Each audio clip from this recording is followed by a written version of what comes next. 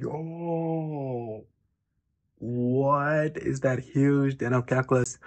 What's up, everyone? My name is Dr. Mo, and I'm a dentist. In this video, I'm going to be talking about the key differences between something called as teeth tartar and teeth plaque or dental tartar and dental plaque. This is important because a lot of you are interested in home remedies for uh, such things. And this video, I'm going to also talk about some home remedies, what can be done at home to not only prevent, but perhaps uh, contribute to and help in cleaning dental plaque and dental tartar. It's important to differentiate between them because one of them requires professional uh, cleaning and one of them can to a large extent uh, be managed through easy means relatively easy means at home. So what is the real difference between dental plaque and uh, dental calculus i'm going to be addressing this uh, in this video. Many people confuse them but knowing the difference is key to a healthy uh, smile to help break it down in simple terms, this is intended for patients that will not be, or I'll try to avoid any complicated language. Uh, stick around till the end because you, you will never look at your daily, daily oral hygiene the same way again. So what is uh, dental plaque? So dental plaque is uh, this soft uh, layer uh, that uh, of a sticky film that constantly form on teeth, especially after uh, consuming a meal. You have these food remnants that layer film forms uh, on the uh, teeth, and it's basically made up of food particles, saliva, and bacteria. Uh, it may be to a large degree and not that much visible at first, but as it accumulates and becomes uh, bigger, it can be more uh, uh, visible. So you can feel it. It's a fuzzy coating on uh, the teeth. The daily plaque removal. This is the home remedies that I'm talking about in the home management uh, for. Um, dental plaque, which largely contributes to gum disease, right?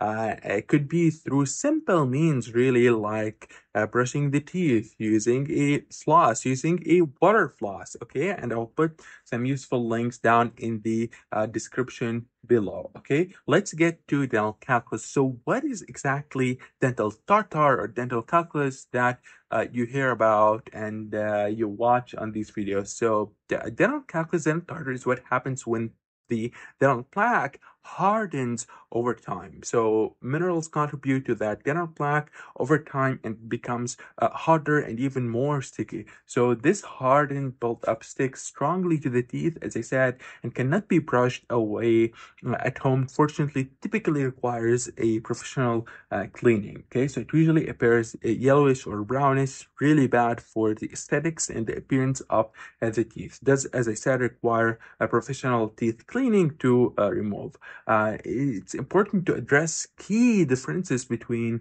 a plaque and a calculus. So texture of the plaque is roughly soft, and of course, it's uh, to a certain degree sticky on the teeth. The, uh, the calculus appearance is really uh, hard and crusty. Um, hopefully, I can put up some visuals uh, in the video. With regard to the ease to of uh, removal, in fact, the capacity to remove the dental plaque can be uh, removable with daily care. As I mentioned, the dental calculus, as I mentioned, unfortunately does require uh, a, a typically professional uh, cleaning because it's, it's extremely sticky and it's really hard on uh, the teeth. So the uh, plaque forms on a regular daily uh, basis. The uh, calculus will form over a period of time as that dental plaque hardens. Okay. But the problem is both can contribute to gum irritation, gum disease, and a whole plethora of periodontal problems. So that's why it's really important to address these things. Uh, dental plaque really forms on regular basis. Almost after someone has a, a, a meal they just ate, and normal human beings, they eat and will eat. So a layer of dental plaque will form. Uh, now, why plaque matters. Okay, so plaque is a starting point of, a, of bigger dental problems, and especially in particular periodontal problems. But not only this, there's something called as periodontal lesions. Sometimes a in a dental or oral problem starts as a periodontal problem and then it can extend into the actual tooth because they're connected. Your tooth is connected with the periodontal structures around it. So a periodontal problem can become also an endo or a tooth uh, uh, problem. So we call that like a, a, a perioendo uh, lesion okay? So it's a problem both with the periodontal structures and now the tooth as well.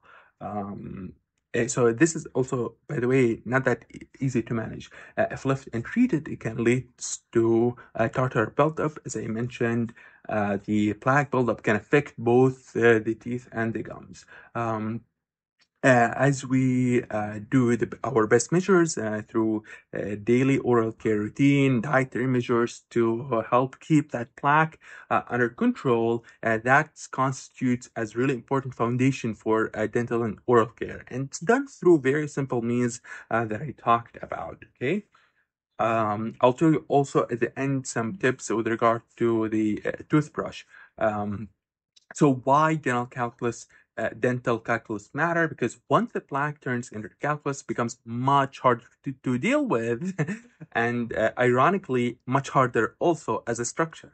Uh, so the tartar buildup built up makes the teeth look stained and rough, as I said, really bad for the aesthetic. And so does the uh, dental plaque also uh, really affect the aesthetic and the appearance of the teeth and your smile. Uh, it contributes to the formation of uh, pockets. I mean, gum pockets are really problem periodontal uh, pockets uh, needs uh, attention. They can progress into uh, further issues down the line. Okay, and once these periodontal pockets form, it, it also unfortunately accounts like as a pocket in which the dental uh, plaque can even accumulate more. So it's just like you can see how this snowballs. Uh, so increase the risk of gum issues if not addressed with professional teeth cleaning. Okay, very important. So how exactly dental plaque turns into uh, dental calculus? Okay, so the plaque, if it's that is not removed or if not removed, it mineralizes over time. Okay, through mineral deposits into that dental plaque. The minerals from saliva harden the soft uh, uh, plaque, so the dental plaque itself in general is softer compared with the uh, dental calculus. So this usually happens around the gum line or uh, behind the front teeth. So uh, if you look at the dental calculus and the dental plaque, it commonly, okay, forms uh, along the uh, gum line around the teeth. Okay, so that's why consistent oral hygiene is so important. With what about prevention, right? Why do we always uh, think about waiting for solution or treatment after the fact that the problem happens? Well, why don't we try to prevent it in the first place? And actually, we can.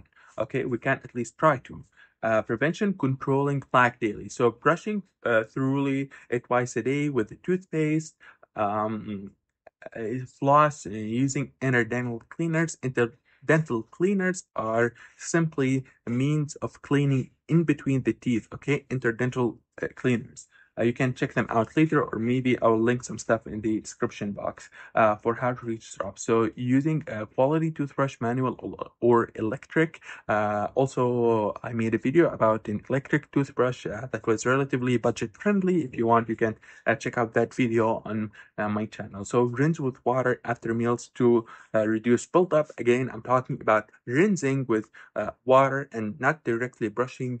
it's a good idea to wait for about 30 minutes after consuming a meal. Okay. Uh, prevention, keeping the calculus away. So what that tartar really forms, uh, it really it requires professional cleaning. When we say professional cleaning, so by a dentist or hygienist uh, to remove it, of course, a periodontist, also a person who's who goes through specialized training uh, for this uh, as well. Um, so regular checkups are essential for uh, long-term gum disease prevention.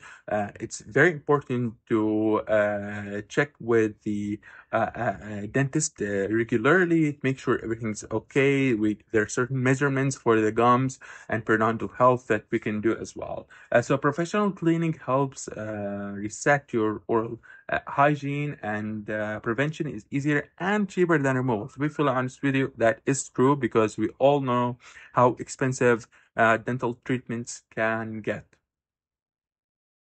So what about everyday tips for healthy smile? uh, stay consistent with the oral hygiene routines. It's important to maintain excellent uh, oral hygiene through at least the means that you can uh, afford and do uh, at home, as well as with the regular checkups uh, with a dentist. Okay, as I said, diet is is really important. Um, things like sugary snacks, carbohydrates, all can contribute to the formation uh, of that dental plaque. So choose balanced meals. try to avoid really sugary snacks. Also, sugar snacks have their consequences in relation to teeth and cavities, uh, which is not the topic for today, but it's important to note. Um, so stay hydrated. Uh, hydration is important. The saliva does help uh, to naturally protect the teeth. All and the minerals that it has is also helpful for something called as remineralization and protection of the teeth, and also making the teeth stronger against things like uh, cavities and so forth. So small daily habits equal a healthy smile. Uh, just to recap real quick, so we have plaque soft sticky removable uh, daily and uh, I just want to note so sometimes the dental plaque can be also really sticky if it has been there for uh, some long period of time as well. So just to be clear, so not all dental plaque is uh, that easy to uh, remove. Dental calculus is more hard, stubborn, requires professional cleaning. Uh, both impact oral health, especially in particular gum health and periodontal health uh, if ignored. So good daily habits and regular dental visits, as I mentioned, best combo for prevention. Uh, so thank you everyone for uh, watching. If you found this breakdown really helpful, I would appreciate liking on the video. It's zero cost to you. Check out the uh, playlist in the description box. Subscribe, turn the notification bell on.